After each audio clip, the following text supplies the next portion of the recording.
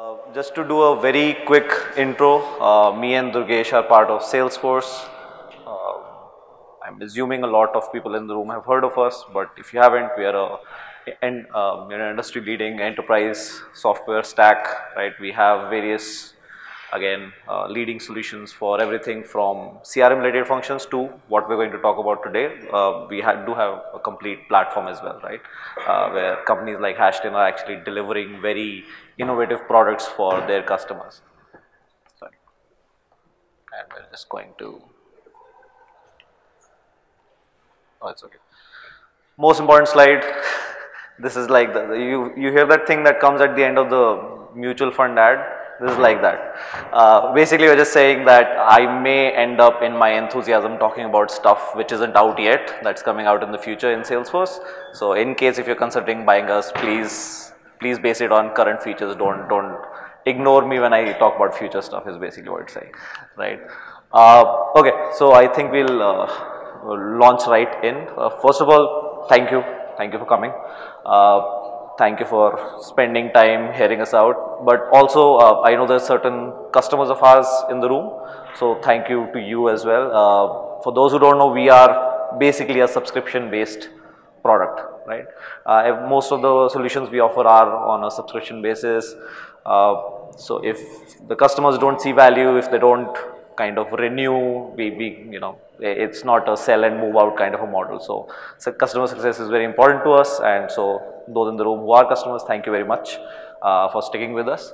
Uh, so, when we uh, basically now that we're launching into it, uh, what we wanted to do was rather than straight away launch into what the product does and so on, uh, we thought we'll actually have one of our customers speak for us, so to speak. Uh, I'll, I'll just start that off.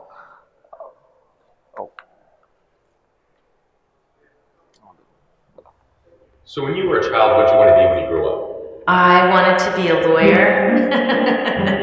My first job out of college was working for a venture capital company, and I got paid extra to put in a client server network. That's what my calling was. I loved it, it was super fun, and I just have never looked back. Well, Jane is a super person, and we're happy to have her run our IT and, and, broader functions actually. First and foremost, she had to straighten out a little bit our systems to bring us into the 21st century. When Paul hired me, he really wanted me to help deliver technology to our organization. Everybody should be a digital native, and we should be sure that we have the technologies available uh, that everybody can understand and can use. That was the mandate. It was really get the technology organization that was working in the front office as opposed to always the back office. Unilever has made an audacious goal actually to decouple our growth from environmental impact and at the same time improve our overall social impact. If you can marry your values and beliefs with the one of the company that you work in, you're undoubtedly going to be more successful. We have an obligation as big corporations to help people in their lives, help people live better lives. Two and a half billion people every day use a Unilever product. We came to the company because of this mission. So it's great to work for an organization that sort of has this higher purpose. Our best way to connect with the citizens of this world is through our brands. So each of our brands has a purpose, and the stronger that purpose, the better the brand does. When I started in this role, I called my friends at Salesforce and said, listen, you need to help me out. We need to really move from a project based way of working to a platform based approach to really enable digital for the organization. Think about connecting all these consumers. Now we can really be passionate. We said we were passionate about consumers. Now we can do it on a one-on-one -on -one basis. The relationship between Unilever and Salesforce is not the old traditional software vendor and customer. This is really a true partnership. And any of our brands to be successful long term needs to actually have a movement of change behind that. Salesforce is a wonderful platform to help us build these movements of change. Running fast in agility is in the DNA at Unilever. I think with Salesforce, it's just put it on steroids. Technology has allowed us to disperse power amongst many people. What I'm trying to do is put the power of the technology into the hands of the people that use it. And so I want to give my power away. I don't want to keep it to myself. It's too cool. You got to give it away. Well, it's a tall order for Jane, and she's well on the way to make us all technologists. I think some of us are better at it than others. We've got technology now really supporting all aspects of our business. Uh, this is a relationship built on purpose, a relationship built on passion, positive energy, and for the greater good. And when you bring people together under that principle, uh, miracles happen. That will make you more profitable, more successful, and happier. Everybody wins.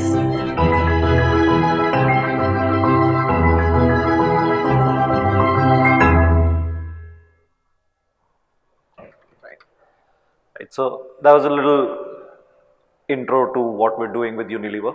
Uh, I'll actually just So when you were a child, what you want to can you just move it to the next slide? Thank you.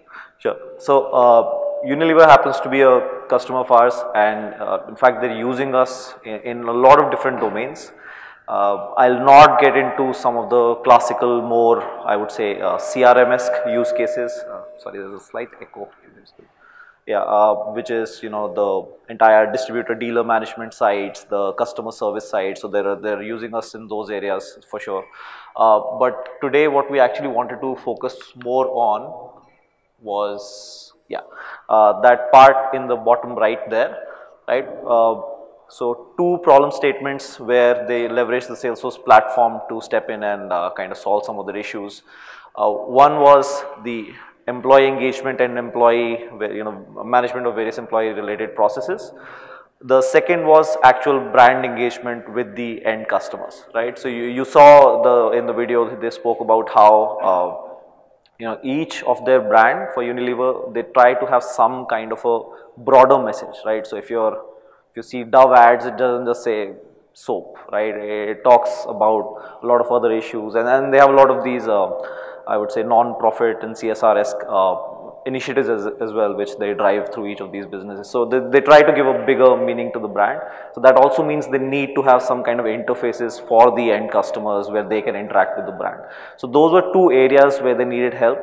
Now, classically I mean it is not like these are not problems that have not existed previously or that they did not have any portals or employee apps in the past.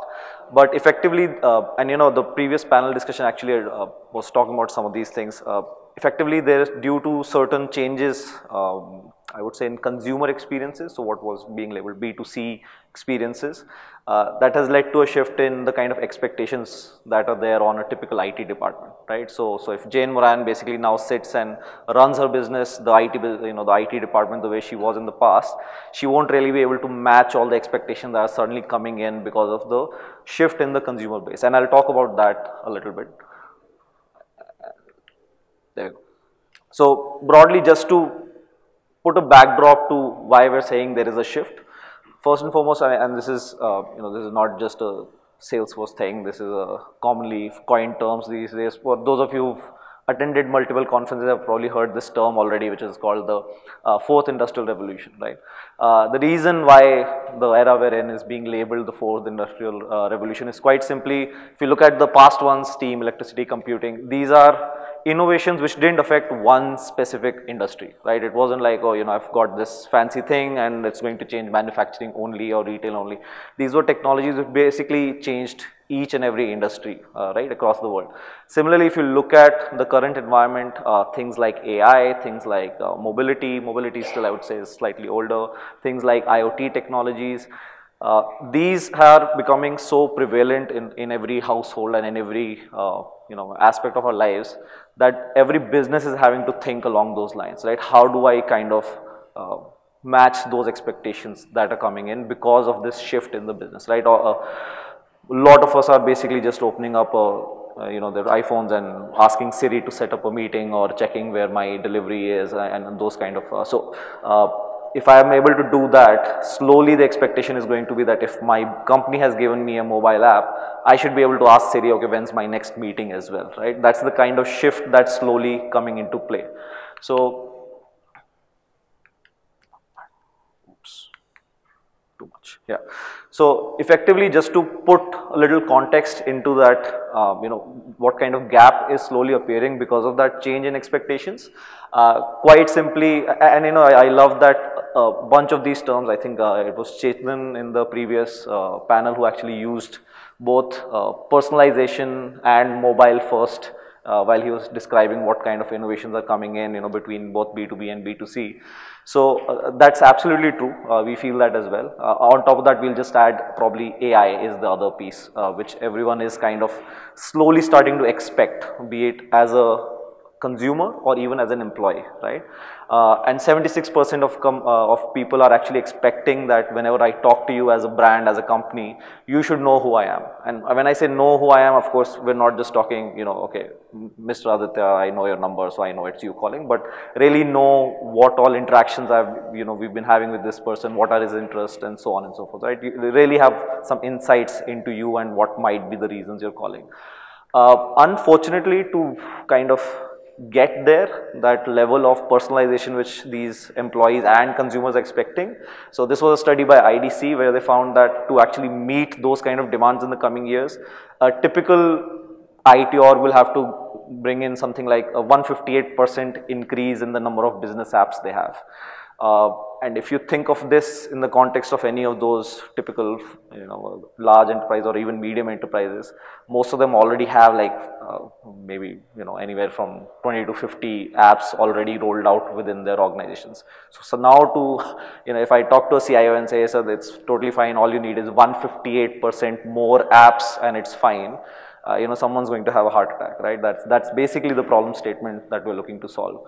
Uh, which brings me to something which uh, Jane Moran, uh, the CIO from the Unilever video, uh, she actually mentioned, where she said, the only way I'm going to basically be able to deliver on what is expected is if I give the power of the creation of apps in businesses' hands, right? If I just hang on to the old school way of saying, okay, I am the IT owner, you bring me your requirements, I'll make an app for you, I'll never be able to match those expectations because they're just accelerating.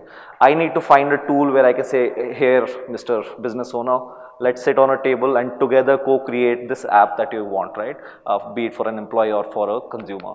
So while we're saying this, let's also keep in mind the other underlying complications, right? Uh, a lot of times it's very easy uh, and I've, and I've personally seen it with some of my customers where I've been in a meeting with a CIO and a LOB head and business uh, teams will just say things like, okay, you know, why can't we make an app for this? But I think sometimes uh, people forget that when you say an app, right, it's not just a UX or it's not just a process that you have to create.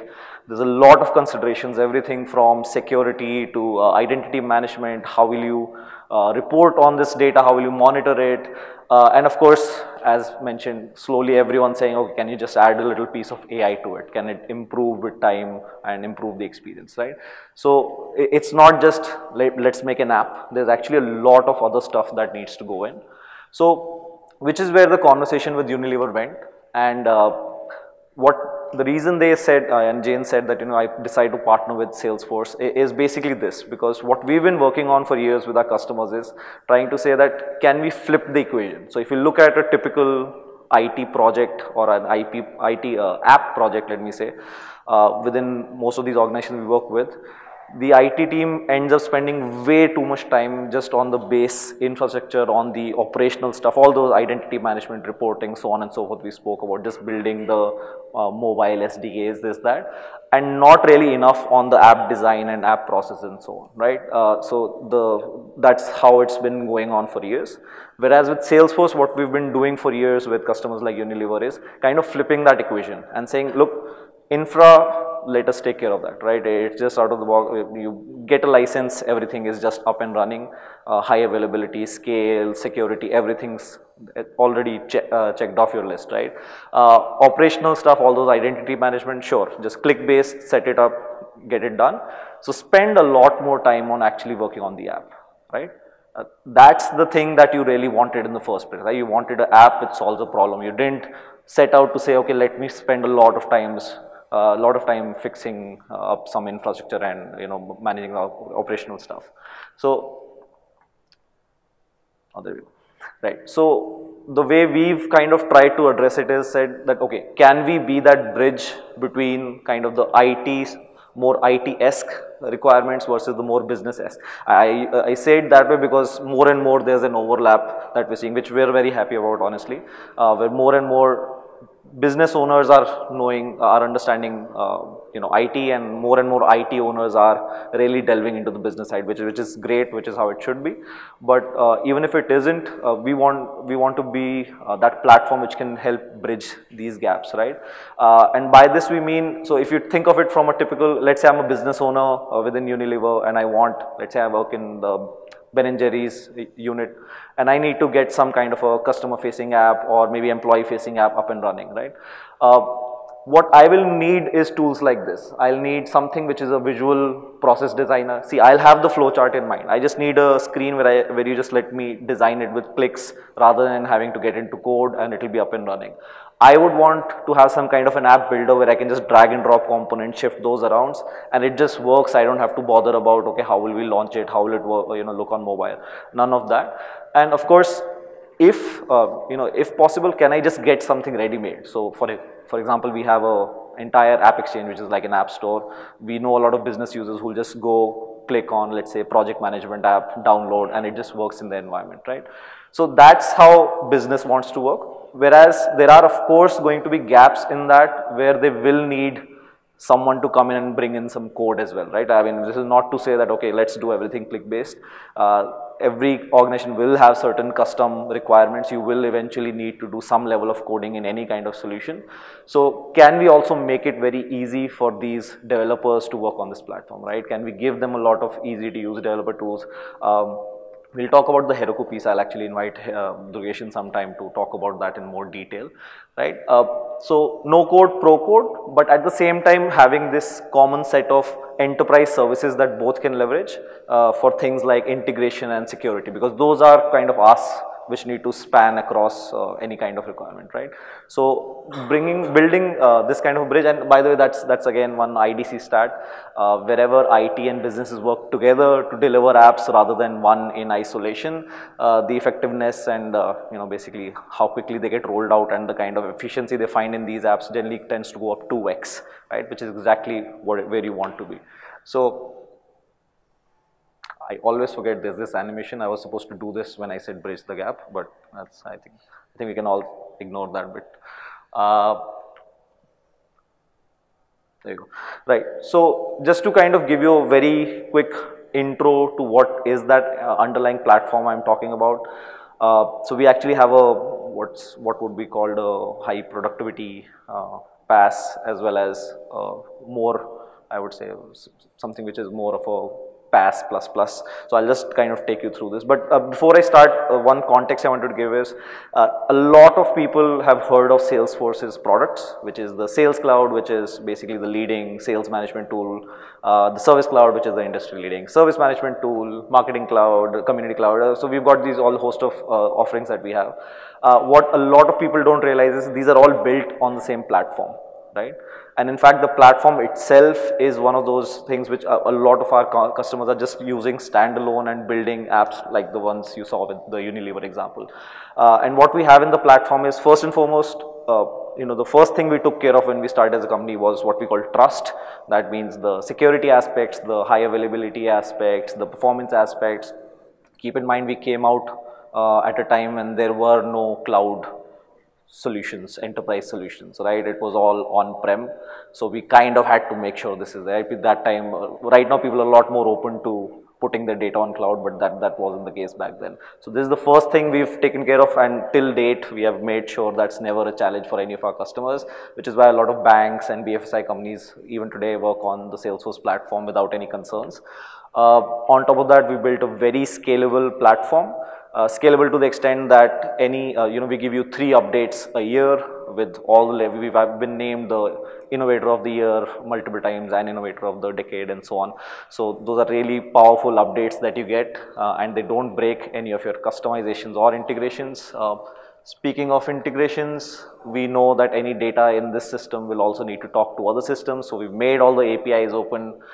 And of course, the thing, the reason we started this conversation, on top of all this, you can do very fast app development. So your use case that you want to roll out, you can basically, there are a lot of tools which can help you roll them out with just clicks without even worrying about code.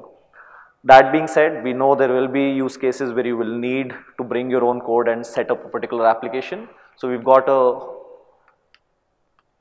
platform for that uh, platform for that as well where you can basically bring your own code uh, host the data use our managed data services to store your data and it can sync data with that uh, high performance uh, high productivity PaaS that we spoke about.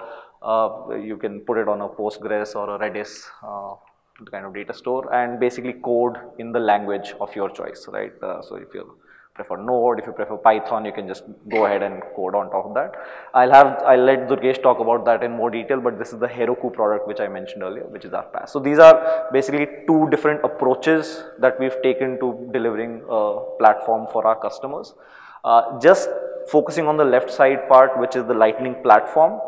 So the goal of Lightning platform was very simple, right?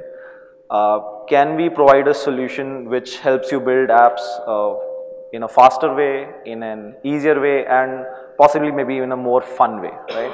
Uh, so when I say faster, how are we doing it? Quite simply, it has both no code builders as well as pro code builders. So that means a business person, if you see on the on the screen there, a business person could potentially just drag and drop and create an app, right, without writing a single snippet of code, right.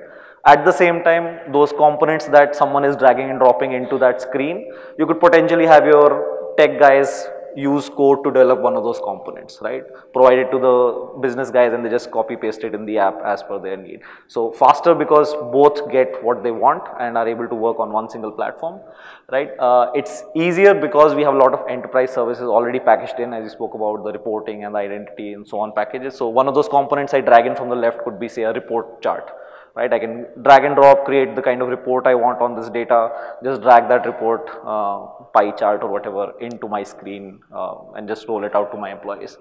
And finally, uh, you know, I said more fun uh, quite simply because everything you need to know to learn this platform is already on a learning uh, platform ours. We call it a Trailhead. So trailhead.salesforce.com, you just go, you can just learn everything I'm talking about just off there, right? Uh, it's, it's very simple. Uh, nothing is hidden. You can just go ahead and become a master at it. And you'll see that uh, the kind of results we've seen is 57% faster app dev, right? Again it, it doesn't always sound as convincing when someone tells you that you know their company has done this but you would have seen uh, the CIO of Unilever attest to this as well where she's been able to do it on her own. So we are basically giving you builders at each layer of the application. So if you talk about what you need to build, so if you had, uh, you know, just think of any business use case that you might have right now, right? It Could be anything from a travel approval use case to some kind of, you know, we've got a mobile payment company in India which does entire merchant onboarding on our platform, on this platform, right. So if they need to design the underlying data model, they can just do it with clicks. They can just say, okay, I'll have a merchant data sync to, I don't know, maybe, uh, you know, some center data and so on and so forth, right. Plus which user of mine is going to be owner of this. All that they can just design the data with clicks. They don't need to get into database design. Uh, the logic, so if I need to say that, okay, if city is Bangalore, then assign this merchant to a particular person, that's just a flow chart they have to create and it just fires and works, right? No code required for that either. Uh, user experience, you saw that in the previous screen, you can just drag and drop and create the entire mobile screen the way you want to create it and even things like intelligence. So we've not uh, started this with this particular company, but uh, to give you an example, for example, with uh, AB InBev, we ran a pilot where they just take a photo of a shelf and we have something called Einstein Vision, which is basically a image recognition based AI service. Uh, and it will basically tell them that okay in the shelves how many of my products are there uh, AB InBev has Budweiser so how many Budweiser are there in each shelf in what arrangement and just loads that data. So if a guy goes, uh, one of the sales guys goes and takes a photo of the shelf, that's it. He doesn't need to manually enter all this. So to roll out an application like that, the AI as a service is available as well as the UI process and data design. So and of course all these different services which we spoke about, right. Uh, again, just to emphasize that point, uh, for this mobile payment company we are talking about, uh, the biggest headache was look if we start to do custom development I'll have to design it for the web, I'll have to design for the mobile, there's a whole bunch of things I have to do. With us the mobile app is just ready made, you just draw out your process it just works on the mobile right. So the time to market, time to execute and uh, time to value all are really really squeezed tight and they could get something up and running, a process up and running within I think uh, 6 weeks which their internal IT guys had said this will take us like I think 4 months to get you up and running right. So uh, with Unilever, just to kind of circle back before I hand off to Durgesh, with Unilever, just to give one example out of those 66 apps, they, uh, you know, and, and you are probably most of you are aware, it's, it's a massive organization. There's over 100,000 employees. So to launch six apps used to be, I mean, this would have taken a year and a half at least for them once upon a time, but they managed to, in fact, I put those apps there somewhere. So uh, these six apps, everything from uh, an internal ideas portal to an entire approval based, uh, you know, where they can get approvals for orders and so on. Uh, so a whole bunch of these uh, internal apps, they launched it within six months in all geographies right and 6 months only because it actually took them that long to launch it geography by geography but the execution was fairly fairly rapid. So this is the kind of power that someone like Jane Moran has gotten out of this platform where she is able to execute her vision along with the business team at a very very rapid pace right. Uh, but on that note, I just want to circle back to something we mentioned earlier, which is brand experiences. So while this is good for them where it's an internal facing use case, but they also wanted certain customer facing portals and apps uh, like those Ben and Jerry's apps that we spoke about. Uh, and for that they said, okay, we want to bring our own code, right? We don't want this drag and drop builder. We want something which is pixel perfect in a specific way. So we'll bring our own code. So that they actually executed on our Heroku platform. And for that, I'll just invite Durgesh on stage. So what what Adit has uh, shared more about, you know, how Unilever has used their uh, the, the core Lightning platform which is more like a high productivity PaaS platform to give experience to, uh, to give engaging applications for their employees. But now when we look back, uh, they also have a need of giving a rich branded app uh, and more engaging applications for their end consumers. They have around 400 plus products and they want to bring uh, digital innovations on those on, on all those brands and and want to them want to bring them much more faster.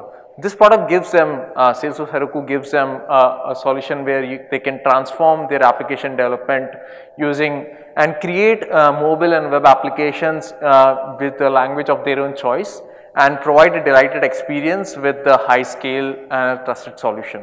Using this platform, Unilever has gone, gone from just the numbers of 100 to the millions easily without any, any of the down, down, downgrades as well as without any crashing of the app and at the same time this product gives them a surety of running their high compliance applications as well. Um, and developer loves Heroku. They can, why? Because they can build their applications much more faster on this platform. Heroku is build, being running on one of the world's leading IaaS solution which is AWS and uh, and it takes care of the complete software development lifecycle of your solution where uh, where the programmer will only going to be focusing on developing the applications and focusing on the business logic. Uh, but on the other side, Heroku is going to take care of managing, scaling, orchestrating the whole solution. And not only that, it also gives a lot of tools around collaborating it, uh, uh around, around collaborations among the team, giving a, a, whole DevOps process inbuilt inside the platform so that you can easily, you know, develop and deploy applications and scale. And this is how the whole, the, the platform gives you, you know, services around building, scaling, testing and deploying your applications with much more ease. And if you just go one level deep into the hood, uh, it gives you whole flexibility and gives a lot of tools and features around your application development, around data services and as well as on the application management as well. And if we just you know take um, the part, uh, take those features like Heroku Shield in private space, that gives you solutions to to make your applications high compliant without adding any of the complex uh, uh, complexities above your application as a part of code. It by default take care of, uh, of it and this is all just one click enabled. Uh, uh, uh, and this all is being proven and trusted by enterprise as well.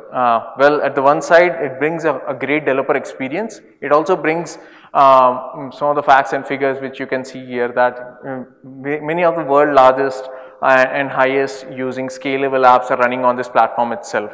We are day to day manage around a request of 23 billions per day and not only this being open to the open source frameworks uh, around 8 plus million apps are already being deployed on this platform and above it we have a whole ecosystem of uh, of our partners who have built more than 150 plus add-ons on this which can be used like a plug and play services onto your app so that you can choose the one which you want based on your need and maybe can switch in between other others as well. A very great story uh, I have seen uh, into my previous life is uh, and just want to correlate with this that using this platform you can actually scale and create your highly, highly developed applications and, and if we just see a common scenario right many of the times uh, every business organization have a system of engagement as well as a marketing solution product. Maybe it's a marketing cloud itself right? And also they have their their other connected systems because of the need of the different business LOBs and at the other side of the system they have their their customers who want a, a more personalized and more engaging experience around their mobile, around their web apps and, and also not only that also with the, with the latest innovative touch points which you have like bots and, and other things. At the same time what they need is a digital platform like Heroku which can give a, a single view to their end customers and more of the personalized solution uh, so that uh, and, and also the and to the developers so that they can easily deploy these new features in, and bring them to mar market in much more faster way. And not only this, this can also uh, provide you a solution where you can extend your other features or other solutions which you have already built on other clouds and, and provide the solutions in much more integrated as well as I would say personalized context to your, to your, to your customer as well. Uh, and and this is the way you know all of the companies are moving more towards from a, from a business centric companies to a app company itself. Because in today's world since the demand is moving so so drastically and that's how uh, we have seen in our previous panel discussions as well that every company needs to be a app company now um, and we have a, a, huge portfolio, a great portfolio around across the different verticals and industries around the globe as well who has used this platform to bring these all solutions to their customer in much more faster way. Uh, if I just take an example of Macy's who has started, who are more of a brick and mortar and retailers having their stores all around the US and other places, uh, they, they wanted a platform, they, they realized it very soon that they want to be, uh, en, they want to engage with their customers in a new way. They want a platform where, where they can bring uh, in the more digital solutions and can engage with their with their uh, with their customers in not just the store but also provide them channels like e-commerce where they can they can have a scalable solution so that during the festive seasons like like black fridays and all their their their consumers can simply go on that app that app and can buy and, and subscribe the products there itself. And another good good example here is Lutron who who has bring the whole iot uh, landscape for their home automation using this platform they have used this solution so that anyone from any place around the world can manage his uh, the lightings in his home just by his mobile app itself. Everything is now digitalized. He can he can select on which day, on which time, what should be the light uh, shade on, onto his house. Even if he's on vacation, he want to switch on the light so that uh, somebody is there, uh, looks like somebody in the house, he can do that there itself. Uh, another great example from around the world uh, is Westfield who has uh, who are well known in their shopping centers uh, retail solutions uh, maybe having 100 plus uh, short shopping retailers malls are all around the world. Uh, they they they bring up this app as a solution for their end consumers again so that they can digitally digitally connect with them. And can can also and they are also using this solution to engage the sales cycle with their with their end retailers so that whenever you know they want to propose a new retail place for, for the other retail solutions, they can just use their mobile apps and, and the, the computer generated graphics as well as the images will come in place. Well, there are many more other customers who are there. Um, the, the another great story is Coin, who are who, uh, who has built the whole um, who had built the whole uh, Bitcoin tra uh, trading solution itself on this platform, and this this says the scalability what this brings.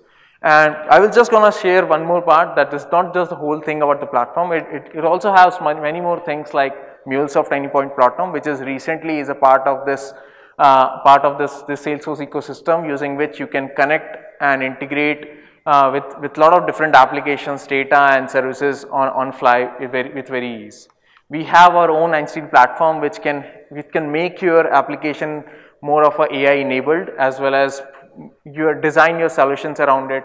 It brings a lot of things like vision and language using which you can have a pattern recognition, you can have uh, image image recognition solutions, you can you can work on the sentiments of the of these uh, discussions you're having with your customer to to provide more of a better solutions around it. And recently we also allowed, uh, uh, announced our solutions in the stream Dreamforce around Einstein bots and voice so that they can also engage with the new AI platforms which are which are more voice enabled like Alexas and Siris of the world as well as designing your own bots into the system and deploying into your apps so that you your user can have a self service based solutions available on this.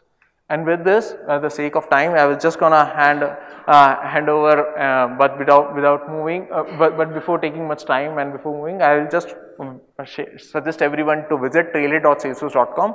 This is the best place which we recommend to uh, each of our customer developers. uh, and uh, each of our partners as well, where they can go and learn all about this platform freely itself. Uh, this is a very uh, engaging and a fun way to learn all about Salesforce and you can get a first hand experience about, uh, for, about our platform and learn them very easily. And with this, I will just going to close with a thank you note and uh, we would be around in case if you have any questions, just let us know. Yeah.